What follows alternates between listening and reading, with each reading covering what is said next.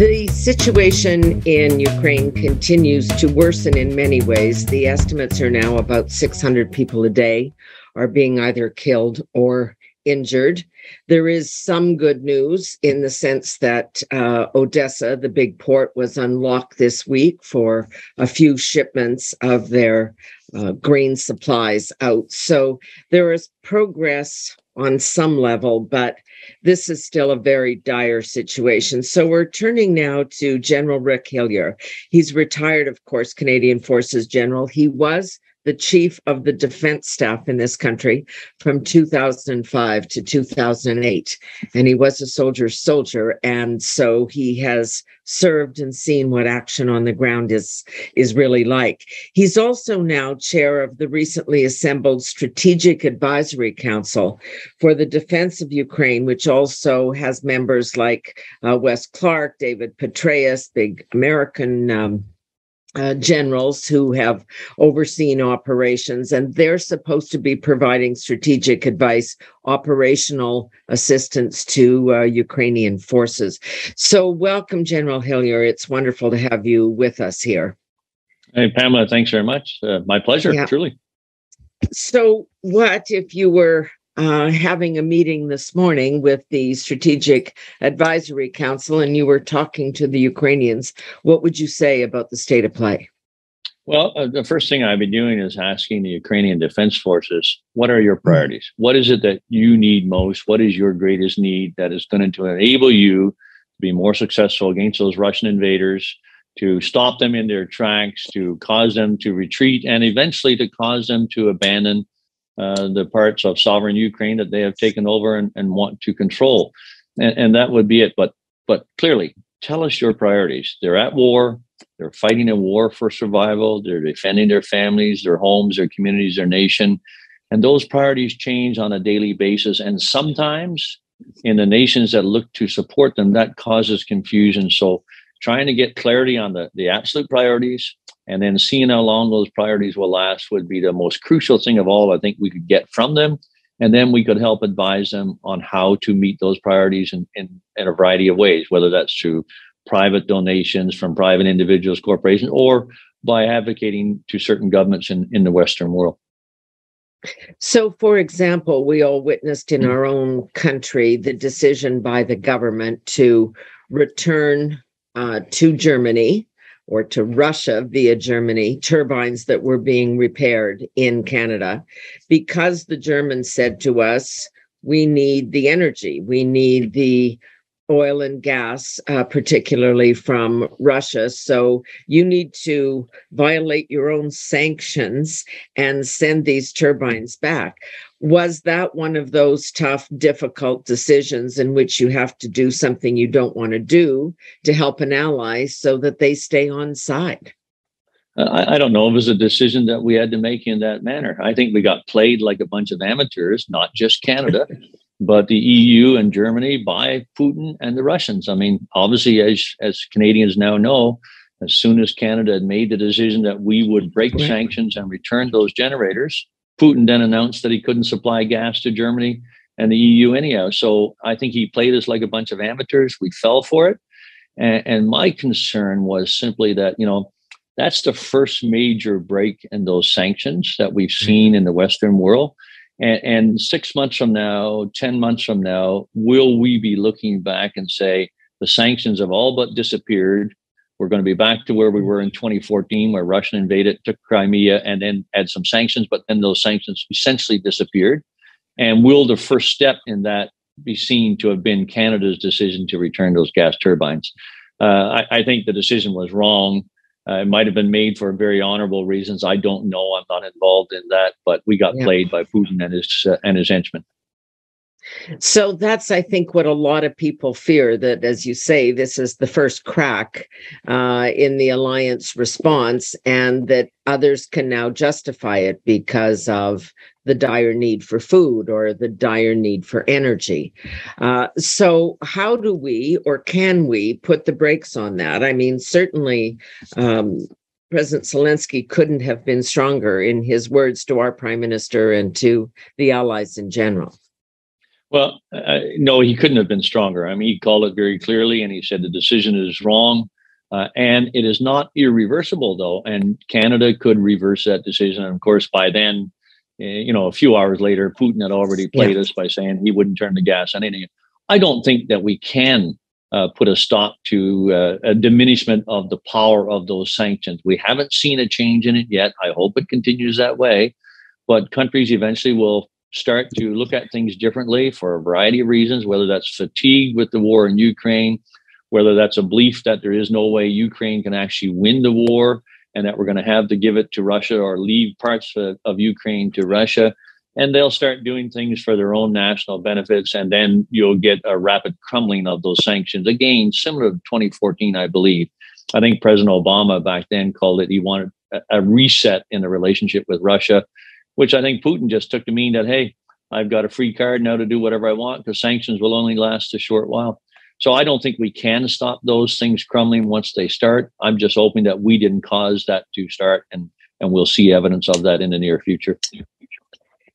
Your belief, I would take it, is that we should have responded in 2014. We should have responded um, in Crimea, in Georgia, in any number of places, and drawn a bit of that red line because, in some senses, we've we've let this happen uh, so that Putin can feel confident and cocky enough to do what he did in Ukraine? Well, I think Putin, uh, but then beyond him and beyond the, the, the circle of cronies around him, uh, out to China, out to North Korea, out to Iran, have been assessing the leadership of the West throughout all of those things. In 2014, the invasion of Crimea, and the rather tepid response uh, that didn't last for very long. And, and then it was over and done with. We are back to normal relationships with Russia. Those carried on. But but also I think they watched the West and the leadership and and drew an assessment that the leadership was weak, specifically last August during the uh, uh, during the actions in Afghanistan when the Taliban took over the country, yep. and we were trying to get the people out who had served Canada, and, and the West uh, was, uh, I mean, it was anemic. Uh, their their response at the time, and it was clumsy, and it sure did not demonstrate, you know, strong strategic leadership, strong leadership in any, in any facet. And I think Putin made a decision then. Okay, uh, I can deal with those kinds of leaders because they're going to back down. At the very least, they're going to mouth strong uh, words and strong things, but they're not actually going to do them or not do them for long. And I can win. And I think that that that played hugely into the decision to invade on 24 February in this new stage of the war in Ukraine. I mean, it's the same kind of signal that many people are concerned about with with Speaker Nancy Pelosi going to Taiwan at odds with her own um, president, and uh, the president saying, you know, we'll never recognize independence. We seem to be sending an awful lot of mixed sing- signals to the people who are can cause a lot of trouble for us, Russia and China. Uh, I, I, think absolutely, and and you know, uh, as we try to do things now to to recover from our lack of strength to start with, in some cases, I'm just surprised that Putin, China, North Korea haven't done even more to sort of set the cat amongst the pigeons. So, for example, I'm just absolutely surprised that China, that Russia has not had a bunch of nuclear submarines surface at the North Pole, plant their flag, and say, "Hey, this is ours." And, and if that occurred, I don't think Canada would have much support around the world by saying, no, no, it's ours, because we really don't have that support. And so I mm-hmm. think those kinds of things will now continue to play out. They've tested us. We've been found wanting in many aspects. Some of those, some of the areas we responded well from the West, but eh, we were found wanting. Our leadership was not found strong. And that will continue to play out in international relations for a long, long period of time. What can we do? I mean, our military, and I'm I'm pretty sure you'll agree on this, has been under resourced for a very long time, uh, and then we are asked to send supplies and not send people directly into the region, but into the surrounding uh, region. And I knew a couple of the young soldiers that were there, and and you know they they they still don't have helmets that would actually uh, protect their heads if there was any exchange of gunfire and this is pretty basic stuff. And we're being asked to try and help supply um, Ukraine in many different ways. Are we sending the right stuff? Do we have the right stuff to send? Well, I, I, think there are several approaches to this that could be much better than what we're actually doing. So, no, I don't think we're sending um, the right stuff, or certainly if we are sending some of the right things, we're not sending enough of it. And and I, I would just give you some examples. And I had mentioned this publicly before that I think Canada uh, and and and our government and our nation should take a whole bunch of our fighting vehicles from the army 200 250 of those LAV 3s or LAV 6s that we have excellent fighting vehicles combine that with say 50 of our leopard 2 main battle tanks you know among the best battle tanks in the world with reconnaissance yeah. vehicles and engineer vehicles put together a spare parts package and an ammunition package and give that to ukraine so they can actually start to build a large reserve counterattack force. And, and and then at the same time what i would suggest we would do is challenge general dynamics land systems that center of vehicle uh, you know manufacturing excellence for for fighting vehicles challenge them to replace those vehicles, you know, within the next one to two years with even better vehicles. And so improve the Canadian forces while we're helping Ukraine in a very real way. Because Ukraine right now, their defense forces, they cannot constitute a reserve. If the Russians should happen to break out in any one area, it's very difficult to counter a breakout because they don't have that reserve. And they and a reserve then could be used in a in a, a, a counterattack to actually, mm-hmm. you know, make make a and, and and make some gains and take some villages back we could do that. And, and if we decided to actually take that huge step and give those vehicles, because many of those vehicles are not being used by the Army right now, they're understaffed, they're under the, the number of soldiers that they have are way down. The amount of training that they've been able to do has been certainly minimal. And, and we could do this and not destroy the Canadian forces. But at the same time, there's another option, I think, and there, there are actually two options. One is you can actually do, if you don't want to do the equipment, do something that we're really good at do training you know and the the other thing right. that the ukrainian defense forces need is training right? From individual soldier level through to collective training at platoon company battalion even brigade level. And and it doesn't have to be all canadian forces. You know we could contract canadian company uh, to do this and and do it in poland and use those retired ncos and officers. We could do that. The third option is we could combine the two send over the fighting vehicles, put the training team together, and do something that would have a real impact and help Ukraine win this war. I mean, Pamela, make no doubt about it. The war will finish through victory. We want to make sure that the victory is Ukraine's, not Russia's. And this would be a way that Canada could do it. If we can't do the equipment, do the training. And if we could do the equipment, do the training also and make that just an incredible one two punch. Can that actually happen? Can you get Ukrainian soldiers in and out of the country? Do they have, with very limited resources, do they have the ability to do that? I guess I'm saying, do they do they have time to stop and train, or is this just they're in the fight for their life right now and they just have to stay whatever the consequences may be? Well, one of the things you have to do, and any soldier understands this, it doesn't matter you're in a fight for survival or in a fight to liberate your country, you have to continue training. You have to actually take the lessons that you've learned in the fighting that you've done so far. You have to incorporate that into your training. You have to make sure that the replacements that you've brought in to replace those who have been wounded or killed are trained as individual soldiers, trained as teams, and you can do that. Ukraine can do this. They've got a train system, a transportation system running into Eastern Europe, running into Poland, running into Czech Republic training already is occurring there. The United Kingdom is going to train 10,000 right. Ukrainian soldiers in the United Kingdom. And, and, so they've got the ability to move it. I think Canada could really step up in this domain and do something that would have a lasting impact. We were a lead part of Op Unifier for like almost seven years, just over six years. And we put NCOs and officers in Ukraine and Eastern Europe to help train the Ukrainian Defense Forces from 2015, I believe it was onwards that made a massive impact. And a part of the success of the Ukrainian Defense Forces that we've seen over the last five and a half months is due to that incredible training. Why don't we continue to build up on that? And yeah, I'd love to see the equipment go, but if we're not willing to do that, let's step up on the training in a huge way. We can do it in Poland, we can do it in Canada, and we can do it in right. western part of Ukraine, probably right now, but if not very soon for sure. So why is there resistance to that? What what does government say to you when you make these proposals? Well, everything is very difficult to do, that's for sure. I think there is are some good intentions, but they have not been translated into actual action. And, and I think also, though, and, and I'll say this, and, and, it causes me great concern, not just in Canada, But Ukraine now is getting further and further and further away from the sort of public consciousness.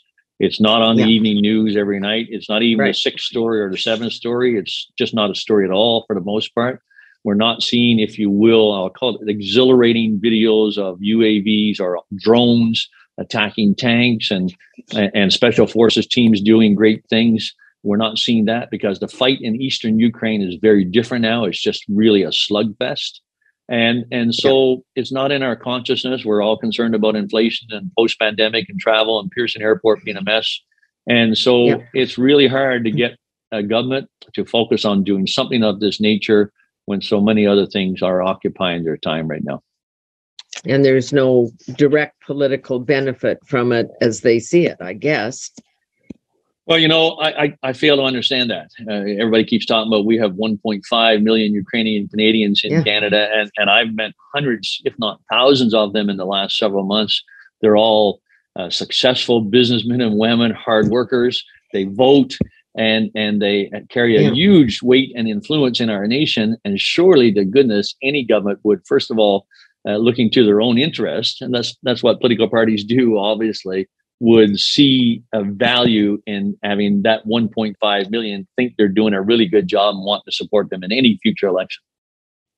I would think so too, but I guess it's not in the writings that they're they're concerned about at this point. I want to come back to a couple of points, um, and and we've discussed this but the the sort of the dividing it up the school that says look you know um, the, donbass is sort of disputed territory and maybe what we should do is just give the russians a chunk of that and maybe they'll go home and and the europeans continually are talking to russia uh, about these things I, can't, you know, it's hard for me to imagine. It's hard for me to imagine in some dispute that we would just say, "Oh yeah, yeah, take take Western Canada, that's not a problem," or or take the East Coast. Uh, you know, who really cares? We can get fish somewhere else.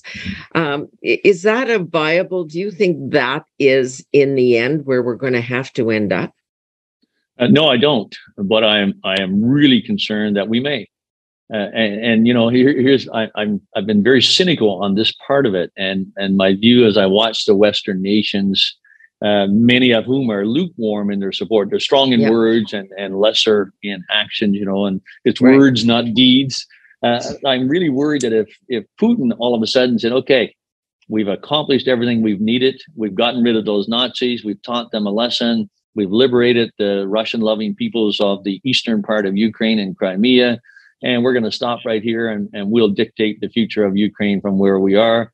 And I'm willing now to have a ceasefire. I worry that if he stood up tomorrow and said that, half of the Western world would throw Ukraine under the bus and we would be stuck in that position. And I just like to say, you know, hey, what, what if the United States of America said, oh, there are so many Americans mm-hmm. in Southern Ontario, we think it's ours and they should have the right to choose and, and they're going to be a part of it. And and would we accept the fact that another nation was going to take a part of our country? No, we would not. Ukraine will not do that.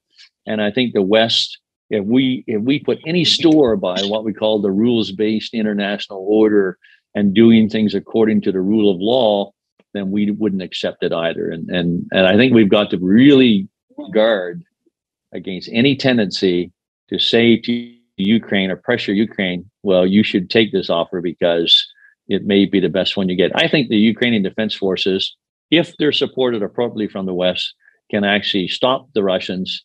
Uh, they can defend their families and country and country, but they can also eject the Russians. And it'll take a period of time. It's not going to be a short war, uh, but I think they can cause it to be so painful for Russia that Russia eventually will want out in one way or another. But the West okay. has got to support them.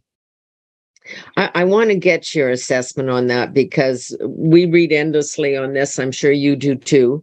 Um, that that Putin just didn't maybe he thought this was going to be a lot easier than it was. That he was going to go in for a few days and kind of clean up this mission, um, and now he's realized that that's not the case, obviously, and he views his own military as dispensable. He's got millions of people to rely on, or that he can force into action and, and service.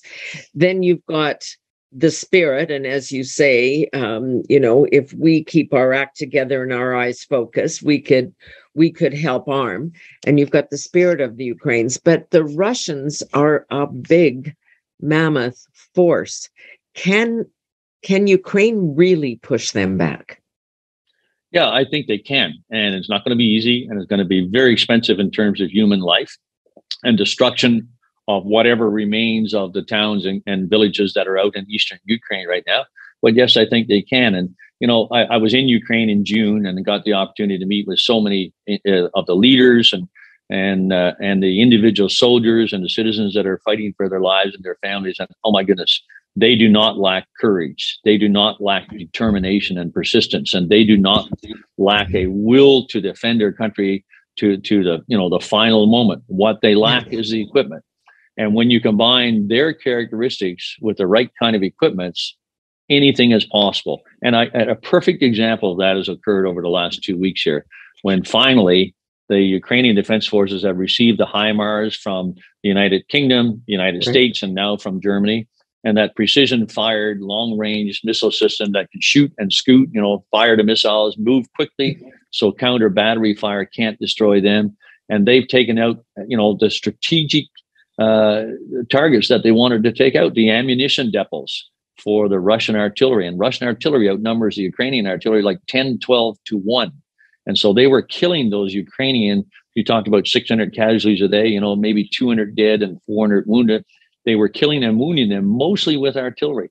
All of a sudden, since that equipment arrived and those depots were targeted and blown up, some 50 of them, if you if you believe all the reports, and, and they're probably close to accurate, uh, then all of a sudden now that artillery fire is dropped to almost nothing and the Russians are going to have to restock. So yeah, I believe Ukraine can do this. They've got the will and they've got part of the capability in the people and the ingenuity and the innovation and that's been incredible uh, uh, on the ground. And if the West can support them in the right kind of equipment, and uh, then they can do the job and we'll keep Putin at the eastern side of Ukraine rather than have to face him on the eastern side of Poland or Czech Republic. What about the uh, the shipment out of Odessa? Um, that that has opened up a little bit. I mean, I think we're all still waiting to see uh, how long he'll let that carry on. Uh, it's very important that Ukraine's uh, crops get out that to to lo- all sorts of countries, Europe, but also Africa and and others. And we're not able to do it because in the West we're still very focused on green energy policies and restricting the you know the use of fertilizers and all of those kinds of issues so that we might uh, fill a gap there which which I, am not sure we can how important um, is is that is keeping Odessa open, and do you think it will stay open? Well, I don't know if it will stay open. I mean, I cannot predict what goes on between the ears of uh, of uh, Putin. Uh, that's for no, sure, exactly. and nobody else could either. Uh, I have mixed opinions on it, I guess, of whether Odessa, uh, how important it is. One, first of all, it is important uh, that you get some of that grain out and maybe get it into the nations where, if we don't, over the next month we're going to see you know mass starvation or close to starvation occurring because mm-hmm. ukrainian wheat cannot get out at the same time i resent having to get putin's approval to allow that to occur and i would much rather harm ukraine with harpoon missiles in the hundreds and let them take out the russian fleet and open up the, those ports and the seaways themselves and then let that occur then have to get putin's sort of uh, acquiescence to it. Uh, we might might have empowered him by going that route, but it's still a good thing we got to okay, ship out. It's interesting. Uh, hopefully, yeah. it'll keep it going, uh, but I'm not sure that it will. And I think Putin will call that much as he did the gas pipeline to Germany. He'll yeah. call that when he sees the value is going to come to him either way. Well, and you know, we still, and and this, uh, you use the word cynical. I guess I have that tendency myself when we see political leaders saying, "Oh, this is Putin's inflation or it's Putin's food shortages and hanging that most economists will tell you we were headed down this road long before Putin went into um, Ukraine, but he's a very convenient uh, whipping boy for us now. Obviously, it does have an impact, but it's politically convenient on one level for politicians to be able to blame him for the current economic ills. It's always nice to have a whipping boy, isn't it? When you're uh, when you're in trouble yourself or being criticized yourself yeah. for sure. And you know I, I, mean people do that and, and political leaders uh, will try to shift blame or or sometimes accept it obviously. Uh, I, I just don't you know strong leadership will lead to positive results in most cases. And I, i've said so many times to my friends and close acquaintances around me over this last several months that they're tired of hearing it that you know if we'd had ronald reagan and maggie thatcher as the president of the us and prime minister of england none of this would have occurred because Putin would have known yeah. right away that if he had tried something like this, he would have paid a terrible price immediately. Uh, he judged them completely different from Ronald Reagan and Maggie Thatcher. And the result is he's invaded Ukraine. Yeah, the red lines needed to be drawn a little bit uh, earlier, as we said back in Crimea time. What do you? Um, I know you were working on this with it, with um, bringing expats out of Afghanistan's Afghans who worked alongside our forces, all of those things. You referenced this, the bureaucratic nightmare. We couldn't get people from point A to point B. We destroyed their documents and then said, you don't have any documents. Uh, is the exodus from Ukraine being handled any better in your mind?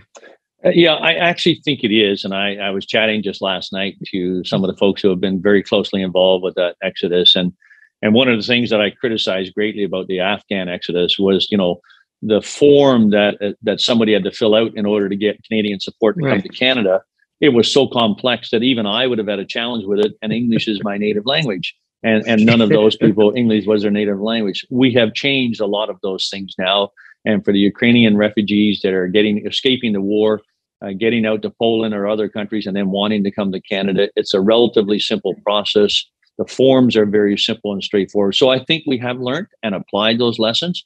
But we also now have some provinces involved and engaged here. We right. look at Ukraine, and, and I know my home province of Newfoundland and Labrador, you know, and Premier Andrew Furey stepped up and put in a, a, a, a position uh, an office, if you will, in Poland to encourage Ukrainian refugees who want to escape that war to come to Newfoundland and Labrador. We need the youth, we need the people in our workforce, and it's working yep. in a very real way. So I think we've done some huge improvements in the process right now. And I just want to see that kept going. And I'd like to see those improvements applied to the Afghan exodus because mm-hmm. we did not do well there. And we left a large number of people in great danger uh, because of our inefficiency. I get dozens of emails a day still uh, from people who uh, who worked alongside our forces, begging and pleading. Do you think that there's any way we're going to clean that mess up and live up to the commitment we made? Uh, no, I don't. Uh, I spoke at the uh, Manning Institute's uh, convention in Ottawa. I think it was three years ago, and during that talk, I said, you know, Canada is starting to be recognized as a nation around the world, being recognized as a nation that cannot do anything domestically or internationally. And we can't do a pipeline. We can't meet our, our, our commitments for the UN. We can't meet our commitments here and there. And I think that's just continued with the Afghan piece. I think we're finished with that one. I think we've done better with the Ukrainian one. Uh, not as well as I would have expected, would have wanted, but we've done better. And I'll give credit where credit is due and we just need to keep that going here. But uh, the, the, Afghan piece, I think we're finished with it. I think they can only focus on one thing at a time, and if it's not Ukraine right now, from the from Global Affairs Canada for people come or Immigration Canada, then you simply don't get your call returned or you don't get your application in. Yeah, no, that's why you have provinces in addition to Quebec saying we want to be in charge of our own immigration. We, you know, in places like Saskatchewan, where I am, I mean, there's a huge family uh, connection. Ukrainians could come, you know, by the thousands and would be welcomed and would have work. Yeah, and uh, goodness knows we need them in our nation, don't we? Yeah, we absolutely do. Rick, thank you so much. Um, not just for this, but for everything. I mean, I, I know you're allegedly retired, but clearly you're not. I think I failed the retirement part on day two Yeah, of leaving you. the military. I think you failed retirement. Rick Hillier, a retired Canadian Forces general. He was the chief of staff, uh, chief of the defense staff for Canada, the CDS, from 205 to, to 208. And our paths have crossed many times through uh, Afghanistan and your other operations. And I should just say he also um, is the chair of the Strategic Advisory Council for the Defense of Ukraine. And he's brought in fellow generals from uh, allied countries to be part of that to give advice. And you're also a recipient of the Order of Canada. And we should always uh, mention that as well. Rick, thank you very much for uh, for your time and your your very um, important insights on this. You've been there, you've got your hands dirty, and you know what needs to be done. Emma, thank you. My pleasure. My pleasure to be Yeah. here. Thanks a lot, General Rick Hillier. And that is it for this edition of No Nonsense with Pamela Wallin.